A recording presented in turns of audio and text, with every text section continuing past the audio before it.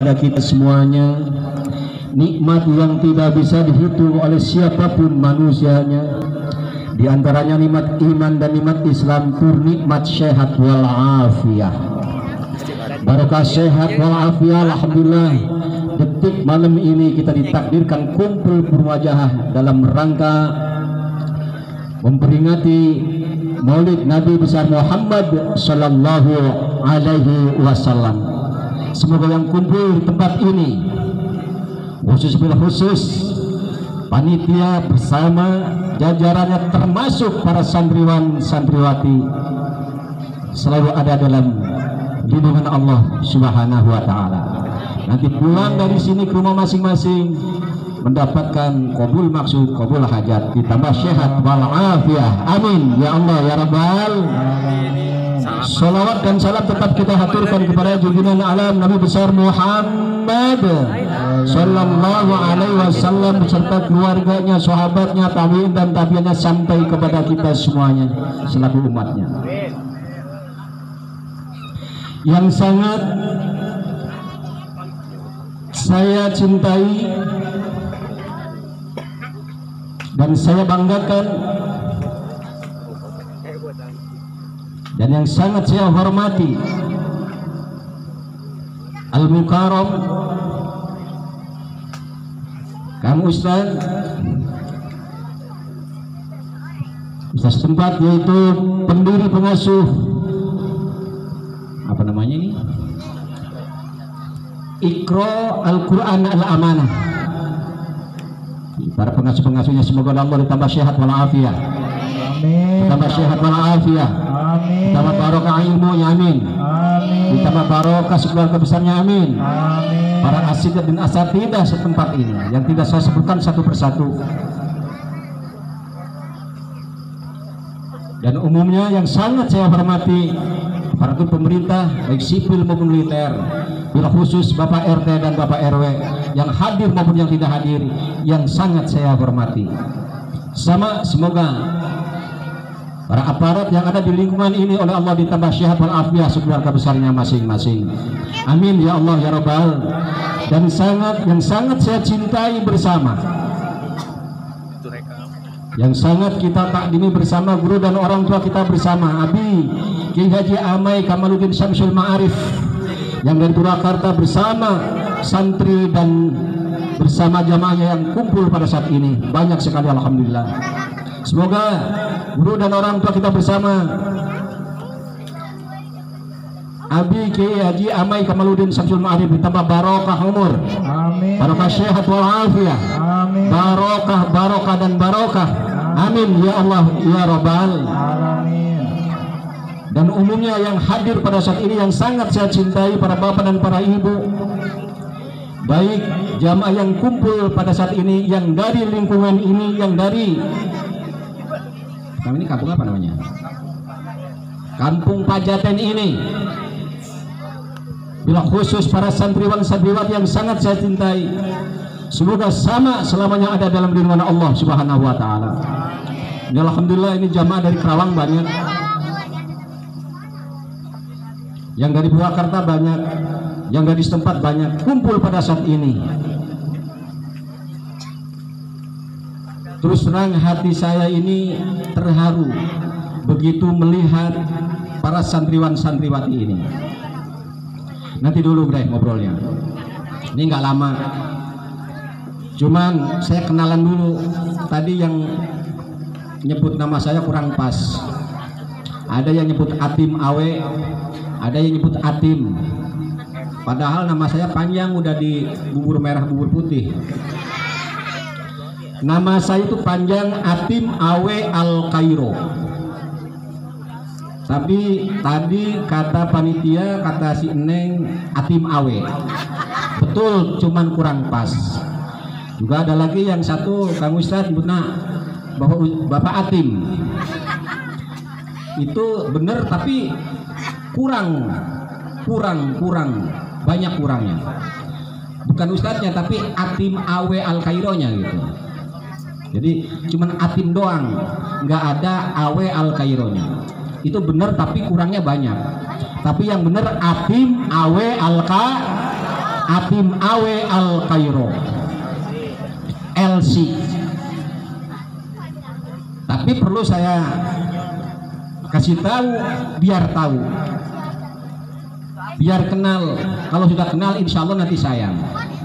Memang betul nama saya itu pendek Atim Atim namanya Atim Atim pendek.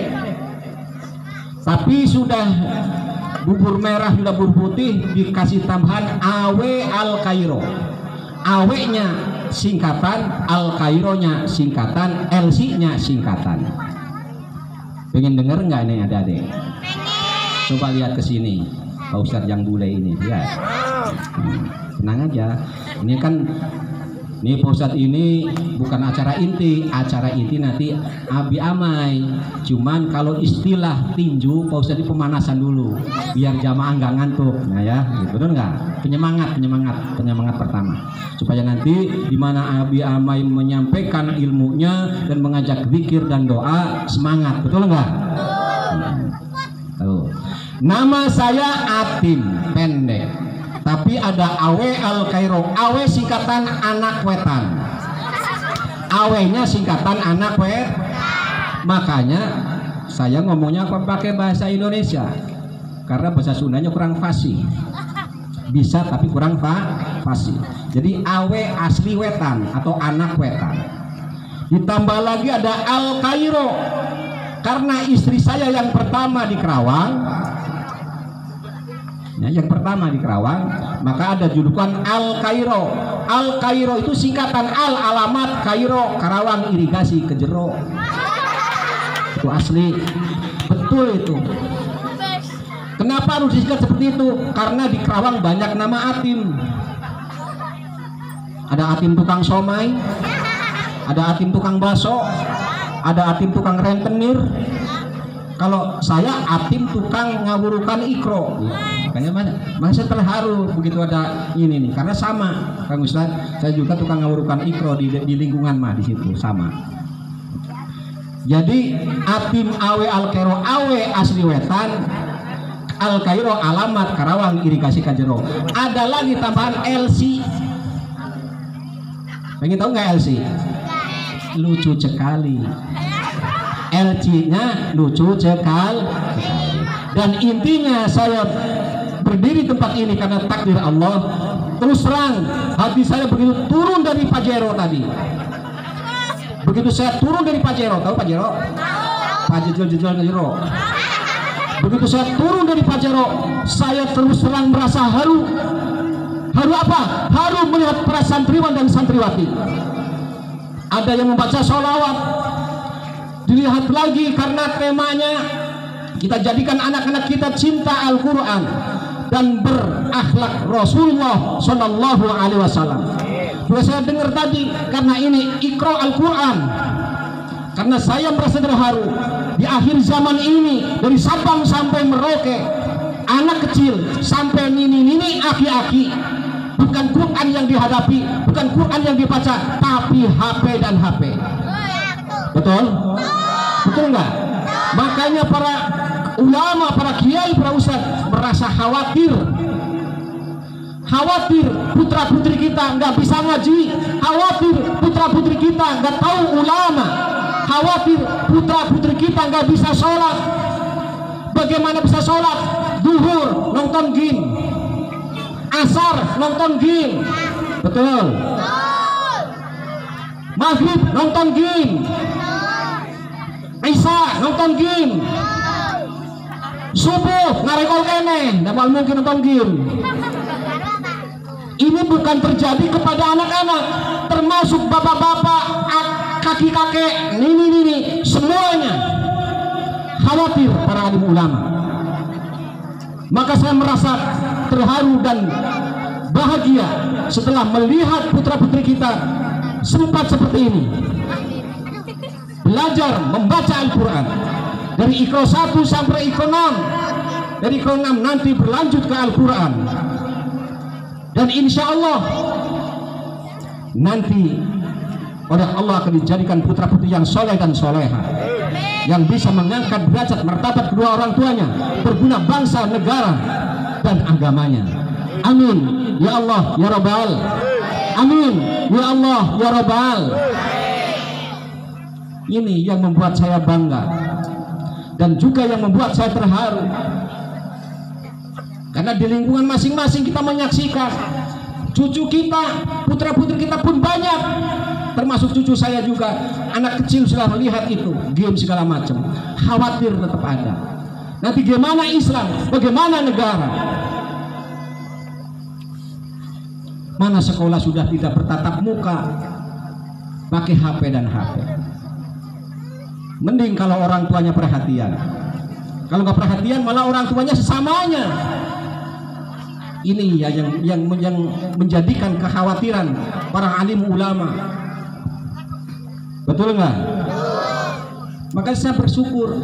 Tentunya para bapak dan para ibu di tempat ini dan semuanya yang kumpul pada saat ini pun merasa bersyukur. Bukan hanya mengucapkan alhamdulillah, tapi kita doakan guru-guru kita, para asatid asatidah yang membimbing putra-putri kita ini santriwan santriwati perhatikan. Sebab begini, kalau di Kerawang nih, pengalaman saya, saya tukang ngajar ikro terus terang Bapak Ibu. Ada yang sampai dari asar sampai maghrib. Maghrib break langsung sholat maghrib. Habis maghrib dilanjutkan langsung sampai ke isya.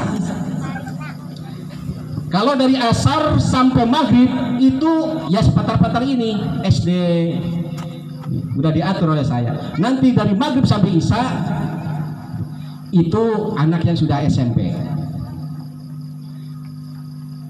Cuman yang jadi aneh begini, itu anak datang bawa ikro, ikronya kadang-kadang sobek, diantar sama orang tuanya? Enggak, pakai kopiah? Enggak, pakai kaos cuman celana panjang, kucel. Saya tanya, yang bapak ayah ayah tujuh naon? Ayah di bumi mama ayah. Oh nyentos itu cuman nggak cerita sama anak-anak. Sedih saya padahal seorang ustadz bukan pengen dibayar enggak. Di mana pun para ustadz para pengajar-pengajar Al-Quran nggak pengen dibayar. Hanya pengen perhatikan bo yo yang jadi putra putri kita antar ke majlis atau ke musola atau ke guru ngaji artinya seperti itu. Datang assalamualaikum waalaikumsalam ya pak ustad punten saya nitip putra putra saya atau putri saya. Karena saya nggak sempat silahkan pak ustad ajarkan putra putri saya supaya bisa membaca Al-Quran dan bisa sholat. Sesuai dengan apa yang yang telah diinginkan oleh kami dan oleh orang tua kami. Supaya jadi anak yang soleh dan soleha. Harusnya seperti itu. Udah cukup seperti itu. Tapi enggak datang enggak diantar pulang enggak ini. Padahal semua yang namanya orang tua ingin menjadikan atau ingin punya anak yang soleh dan soleha.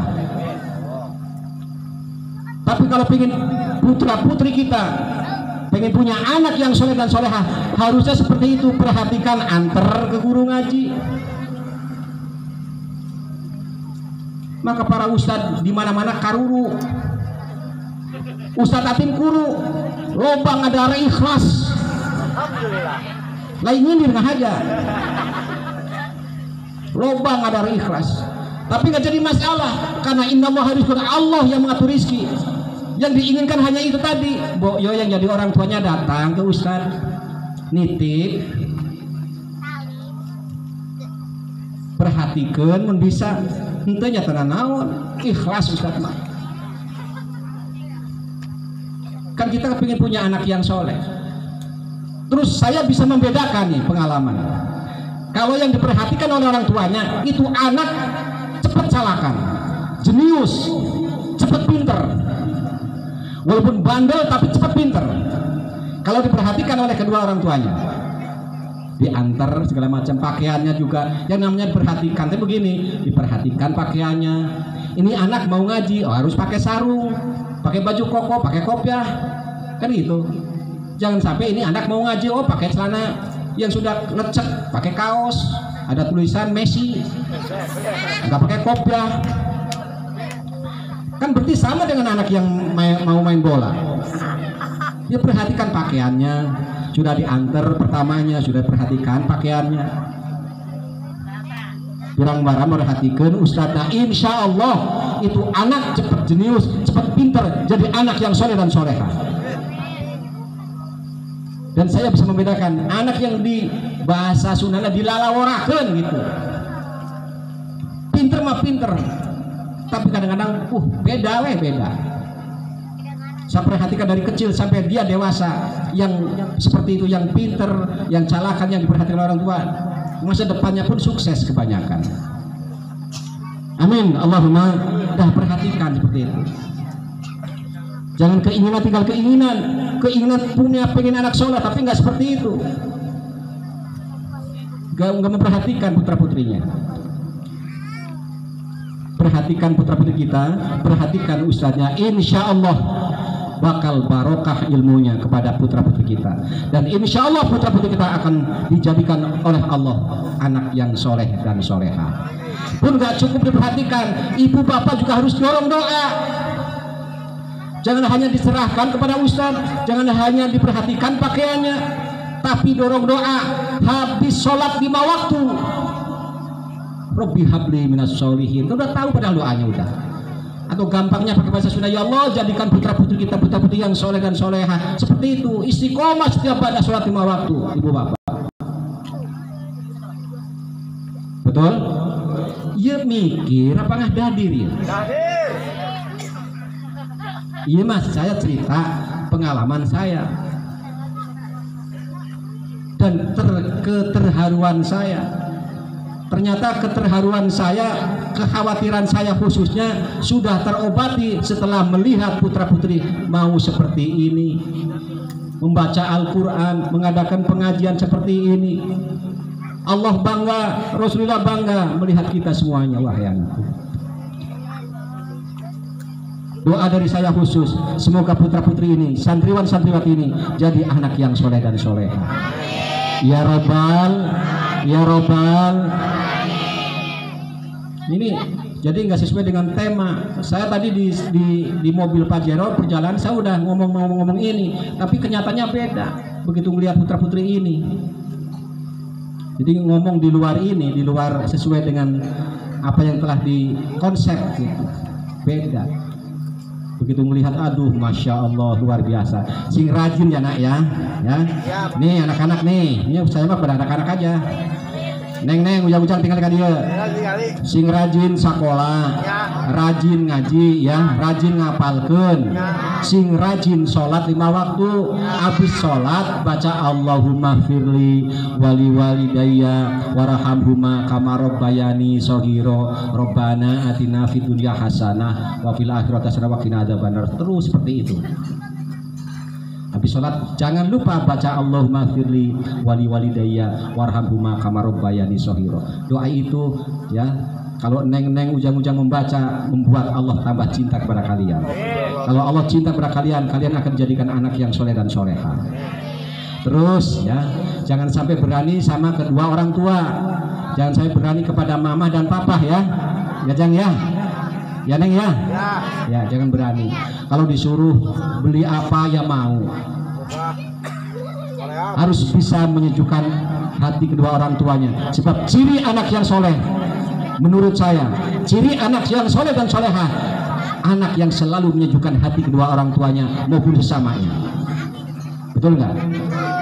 Ya kalau sudah soleh atau soleha pasti ibadahnya luar biasa bisa jadi pinter juga, ngerti juga, tapi ucapannya, tingkah lakunya bisa menyejukkan hati kedua orang tuanya, juga bisa menyejukkan hati kepada sesamanya. Ucapannya tidak menyakitkan orang lain, ucapannya tidak membuat tersinggung orang lain, tapi justru bisa menyejukkan hati orang lain. Ini di antaranya anak yang soleh dan solehah. Amin. Allahumma Amin. Allahumma Ya Rabbi bil Mustafa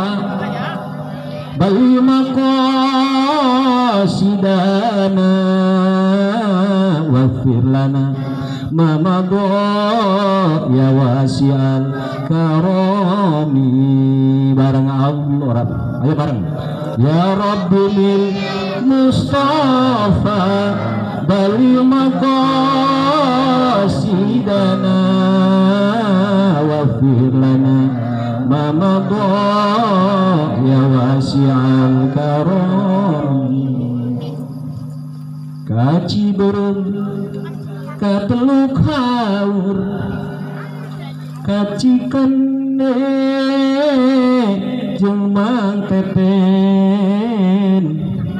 Hayang perem untuk kaur emot baik ke orang. Orang mana dia? Hah, gitu Jawa banget tuh Pak Jaten ya tuh Gitu. balikan dia balikannya balikannya balikan lagi ya Rabbul Mustafa. Amin. Ulangi. Tuh wa bangka. Ulangi ya. Eh? Ya Rabbi bil Mustafa. Bal maqasidana.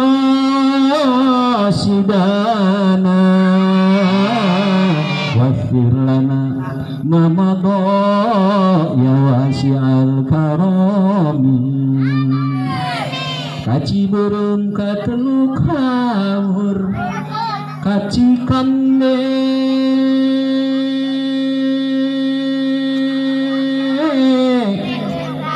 jeung mang hayang peureum henteu kaur emut bae ka orang pajaten untuk tepuk tangan. Aja tepuk tangan naon ya. Yang penting mah yang penting mah seneng. Ngaji harus seneng dasarnya. Kalau seneng nggak nggak merasa lama. Kenapa ngaji satu jam dua jam kok merasanya lama? Karena nggak seneng. Tapi kalau seneng enggak nggak merasa lama. Jadi intinya apa yang saya sampaikan? Ya, ayo untuk neng-neng ujang-ujang rajin belajar, rajin sholat, rajin berdoa. Insya Allah kalian akan dijadikan oleh Allah anak yang soleh dan soleha. Dan untuk kita semuanya para bapak dan para ibu termasuk saya, perhatikan putra putri kita ke pengajian titipkan perhatikan pakaian anak perhatikan segala galanya titipkan ke ustadzna insya Allah membuat Allah ridho dan membuat Rasulullah ridho membuat putra putri kita jadi anak yang soleh dan soleha. Yang menjadikan ilmu putra putri kita manfaat di dunia wal akhirah. Amin. Ya Allah ya Rabbal. Amin. Ya Allah ya Rabbal. Dan doa kalian khususnya doa panitia dan bersama para santri dan santriwan dikabul oleh Allah dari kemarin bahkan dari pagi panitia sama santriwan dan santriwati berdoa di dalam hatinya ya Allah mudah-mudahan nanti malam nggak hujan. Kan bener nggak hujan ya? Ini kan gerimis. Betul nggak? Nggak hujan. Berarti doa putra putri ini doa santriwan santriwati ini termasuk panitia dikabul oleh Allah Subhanahu Wa Taala. Sehingga malam ini nggak dihujani cuma digerimisi supaya nggak panas dan nggak ngebul. Amin. Allahumma intinya sekali lagi tambah syukur kepada Allah. Itu saja mungkin yang bisa saya sampaikan. Karena ini bukan acara inti saya mah yang intinya mah nanti uh, Abi Kiai Haji Amai Kamaludin saya minta kepada para jamaah Bapak Ibu dan khususnya para santriwan santriwati dengarkan baik-baik. Guru dan orang tua kita bersama mau menyampaikan se- apa namanya ilmunya juga mau mengajak zikir dan berdoa. Dengarkan baik-baik tidak boleh ngobrol. Silakan ibu-ibu ngerokok nggak apa-apa. Bapak-bapak ngerokok nggak apa-apa. Ujang-ujang sambil makan apa nggak apa-apa. Yang penting jangan ngobrol. Sebab kalau ngobrol itu bisa merusak segala-galanya. Betul nggak? Jangan ngobrol jangan ngob- ngobrol. Jadi mohon dibukakan pintu maaf yang sebesar-besarnya sebatas kenalan dan sebatas memberi apa namanya ya ya pemanasan aja udah gitu ya. Semoga bermanfaat untuk saya dan untuk kita semuanya. Amin. Ya Allah ya rabbal alamin. Billahi taufiq wal hidayah.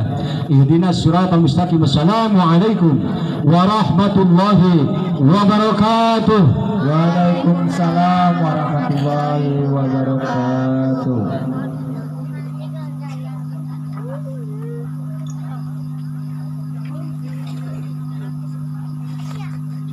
Terima kasih kepada Al Mukarram Ustadz Atim Al Kairo yang telah menyampaikan ceramah agama.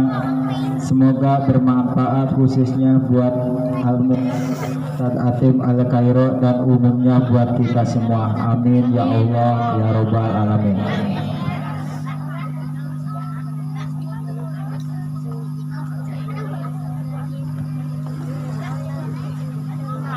Kepada yang terhormat